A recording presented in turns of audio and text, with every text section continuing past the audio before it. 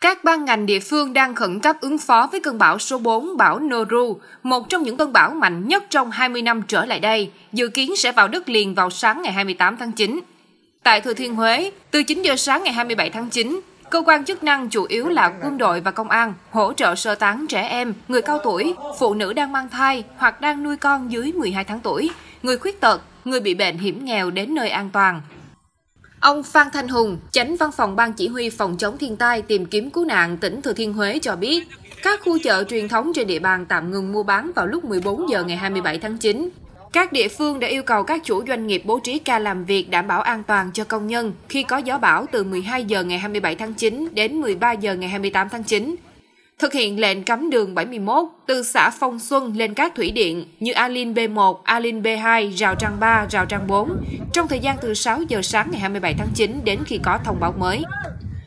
Tại Quảng Nam, hàng chục ngàn người dân ven biển từ sớm đã thu dọn đồ đạc trong nhà, chỉ đem theo nhu yếu phẩm, đồ dùng cần thiết để tập trung đến nơi an toàn.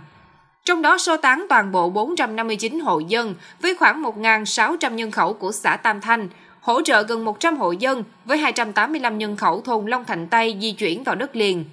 Ủy ban Nhân dân tỉnh Quảng Nam có ý kiến cho cán bộ công chức viên chức và người lao động thuộc các cơ quan, đơn vị nhà nước và các doanh nghiệp cho công nhân nghỉ làm việc từ 12 giờ ngày 27 tháng 9 đến hết ngày 28 tháng 9. Còn người dân thì không ra khỏi nhà kể từ 18 giờ ngày 27 tháng 9.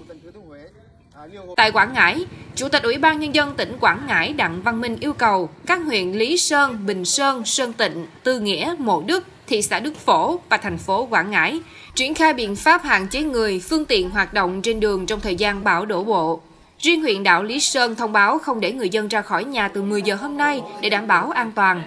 Dự kiến, 22.099 hộ với 75.204 nhân khẩu sẽ di dời để ứng phó bão. Tại thôn Tân Thạnh, xã Nghĩa An, từ sáng sớm, ông Nguyễn Thành Vương, trưởng ban công tác mặt trận thôn, đã cùng với cán bộ thôn xã đến từng hộ dân để vận động, di dời người dân đến nơi an toàn.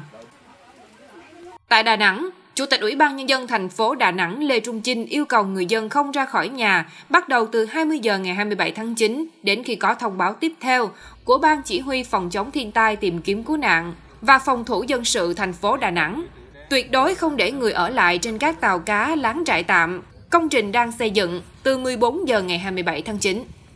Sáng ngày 27 tháng 9, Thiếu tướng Vũ Xuân Viên, Giám đốc Công an thành phố Đà Nẵng đi kiểm tra công tác vận động người dân xung quanh khu vực neo đậu tàu thuyền tại phường Thọ Quang và phường Nại Hiên Đông, quận Sơn Trà.